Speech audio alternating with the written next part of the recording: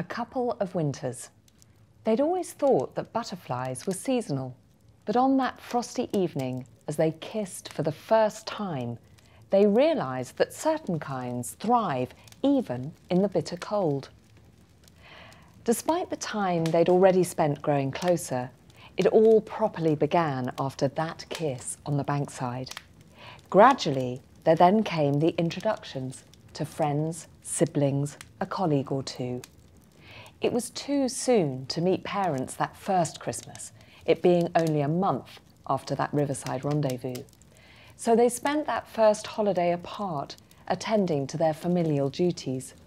They reunited to see in the new year together, though, celebrating just the two of them in her favourite Cotswold cottage. The following Christmas, it was time. Time to share in the traditions of their respective families together. They warned each other about the family anecdotes, the loud aunt, the festive singing, the time honoured food rituals, the gift giving procedures.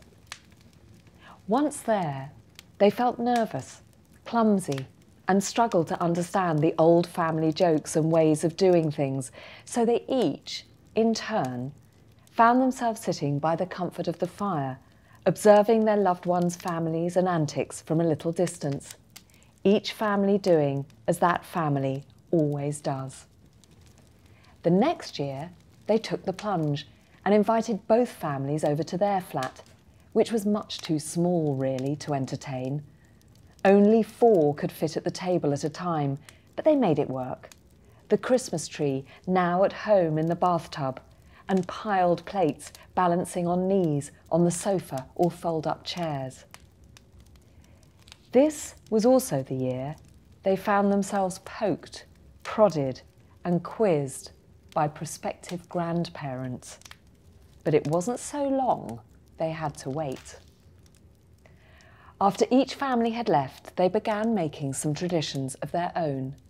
In the days after Christmas, they swapped the honey glazed parsnips for pepper and parsley roasted carrots, the alcohol soaked fruit cake for bread and butter pudding and spun together an 80s playlist they both agreed they'd never tire of.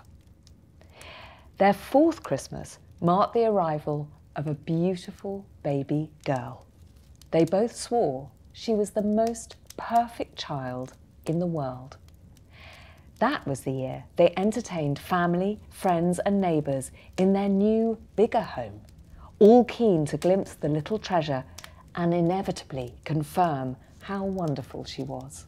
Despite the chaos of endless visitors, the sleeplessness, the exhaustion of hosting, that Christmas was the most special of all.